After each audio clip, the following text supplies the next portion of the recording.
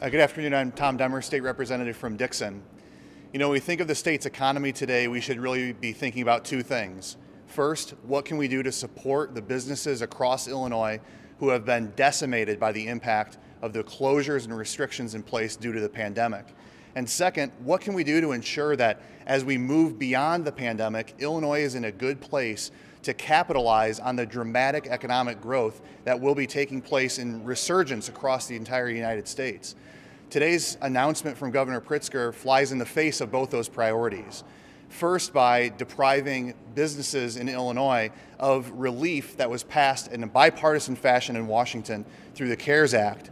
And second, by taking away one of the valuable tools that we have in place to make Illinois more competitive when it comes to new jobs and new investments and new economic growth.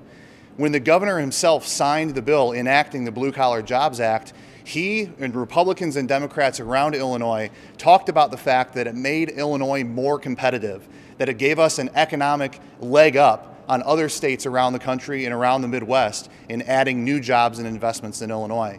That's precisely the kind of tool that we'll need as we emerge from the pandemic and the entire world starts to rebuild the economies that have been so uh, profoundly impacted by these closures. The fact that uh, these, these, announcements have been made by the governor through a press release, and it appears that he uh, is seeking to unilaterally freeze implementation of the Blue Collar Jobs Act. Again, I'll remind you a bill that passed with bipartisan support that he himself signed that says in statute businesses shall be eligible for these incentives starting on, on January 1st of 2021. The fact that he's seeking to take this unilateral action, I think continues a trend that we've seen out of the governor's office of government by the executive branch alone.